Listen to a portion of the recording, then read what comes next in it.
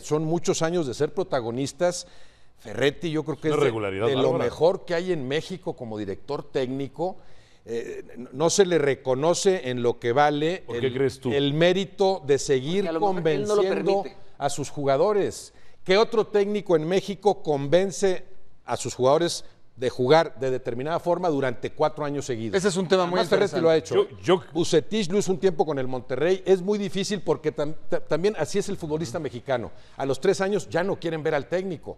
A la Volpe no lo quieren ver a la vez a los siete meses. A otros los aguantan más tiempo. Es cierto, pero Ferretti ha, conseguido también, es cierto, el control de ese equipo para que cuando algunos no los convence, entonces se van y vienen otros.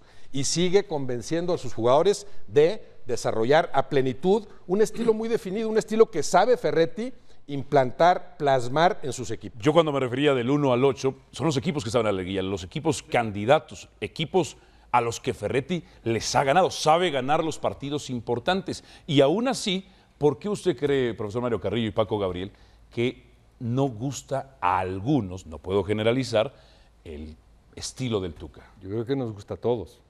No a Aparte de lo que dijo, Yo- lo yo que veo dijo Roberto, Comentarios que no les gustan. hablaba de, consistencia, hablaba Es de ganador. la parte mental, del convencimiento